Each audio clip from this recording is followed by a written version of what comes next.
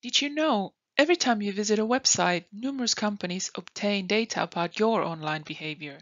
Here's a real life example. This is Anna, a university student interested in jogging, politics, and cooking. She wants to read some articles on the New Yorker magazine's website, but before she enters the site, she has the chance to read a cookie policy. But she quickly decides to accept the default settings that the site suggests. What happens before she enters the website? A number of companies join an auction to show an ad to Anna, and these companies obtain data about her. That data is combined with data from other sources. AI algorithms calculate the price for an ad based on all the data they have about Anna. The highest bidder wins, and Anna is targeted by an ad from that company. The auction happens very quickly in about a fifth of a second. When Anna enters the website, 56 parties gain access to her data and some start following Anna's behavior while she uses the service.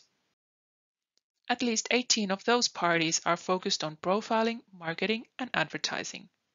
Had Anna read the cookie policy, she would know that up to 280 companies could have had access to her data. But this is not all. There are still more companies that obtain Anna's data, and this group is the most difficult to understand. One particularly interesting company is DoubleClick.net, owned by Google. It is a company in a cookie sharing platform that connects personal data from various sources. It connects data from 118 companies, creating an even more comprehensive profile of Anna based on the traces she leaves behind on many different websites and devices she uses.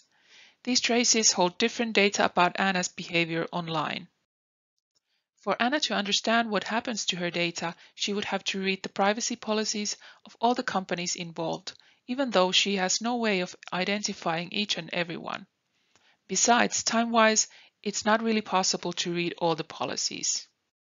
How is Anna able to protect her data? What can you do? Take the DigiProfile test. You will obtain your own digital profile and tips for protecting your personal data online.